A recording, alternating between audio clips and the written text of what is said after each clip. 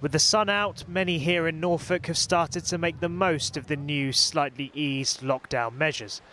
The government has started to relax some of its rules, so people can now go visit beaches and parks as long as they socially distance.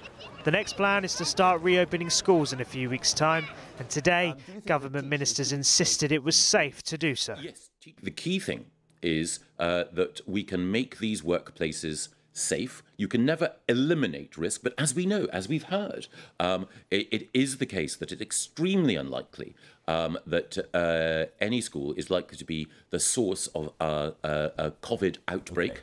Um, and and if for any reason uh, uh, there are risks, then we can take steps to mitigate them.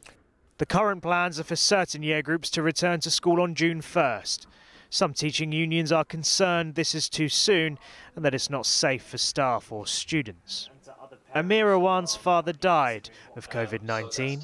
He is a parent in Birmingham and will not be sending his children back to school before the summer holidays. I have lost someone who's very dear to me, uh, and not just to myself, but to, to, the whole community of Birmingham because my father was a community man. Um, but, you know, we've lost other people in our community. Now, why don't we just wait? What's what's the urgency of sending the kids back to school and having that second spike? Because there will inevitably be another spike. Why take that risk? Councils in Liverpool and Hartlepool have said they won't be following the government's advice.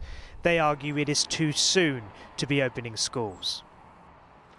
As regional differences in the response to the pandemic emerge, there have been accusations of a London centric approach to easing the lockdown measures. I'm not seeking to, as I say, undermine uh, the government's message nationally, but I am asking people to, to think about the particular level of risk uh, here and to tend towards the cautious side of things.